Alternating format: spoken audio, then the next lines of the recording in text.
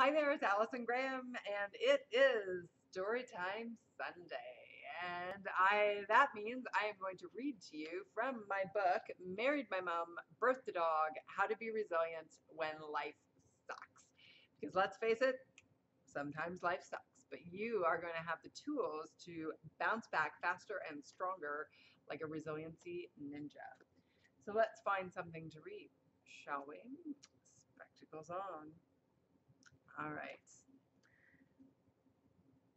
Uh, okay, let me not even look because now I'm judging which ones I want to read. I'm just going to go. That's going to open up something. Now remember, each chapter is uh, sort of a story or an experience of mine, the lessons that come from it, and then coaching questions on how you can integrate it into your own life. Okay, and there are a lot of other resources too over at resiliencyninja.com. All right, so uh, this is chapter 27. And interesting because is the second Sunday that I've uh, found chapters on self sabotage. So here's another one. And if this is something that you experience, I do have a, a video program that is no charge over available on my website at resiliencyninja.com sign up for that. You can get access to it, and it'll give you some uh, even go deeper on how to overcome self sabotage because I think it's very important. So here we go. Later in this book, I'll come clean about the terrible messages I used to say to myself. This will help you understand how big a leap it was for me to create confidence and to start believing in myself. It was difficult to recognize my talent, I kept knocking myself down to keep myself in check.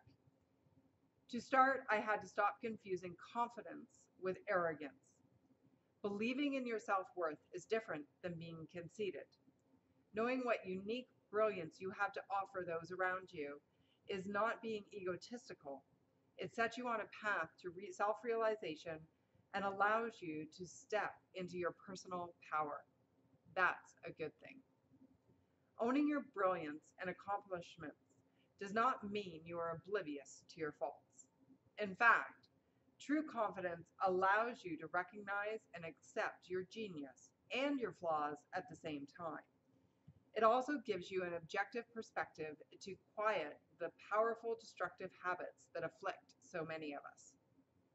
In my work, I recognize that there are certain ways I can serve clients well and there are other areas where I'm just not talented. Knowing where I shine and where I don't means that others can fill in those blanks, rather than me trying to be all things to all people. It's hard to become a resiliency ninja without recognizing the offense, offense and defense that we are playing simultaneously within ourselves. That is, while parts of us want to win and want to shine, our destructive instincts want to shut us down and hide our light. To recognizing to recognize your self-sabotaging routines and change them, make a list of areas where you doubt yourself. Bring these unhelpful beliefs into the light by writing out I'm not good enough to statements. Go as deep and granular as you can with this list. Then you can rewrite the manuscript of your life to counter all this negative thinking. For example, I, you know what, I'm going to leave that. I'm going to stop reading there because I don't want to make these too long. Uh, but you can get that information on how to use that exercise to flip your thinking and to create some confidence. So, anyway, that was chapter uh, 27 confidence over self sabotage. So, it'll help you with confidence piece, which is really important of course. And uh, that's it for Storytime Sunday. If you don't have my book yet, please go get your book.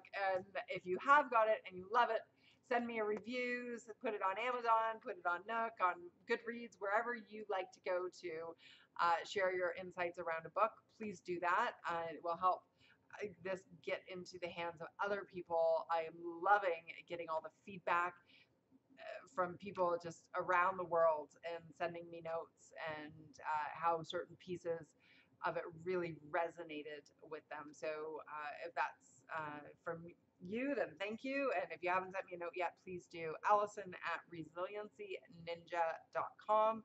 Lots of great stuff over on my website. Please come visit me, subscribe, and share. Thank you.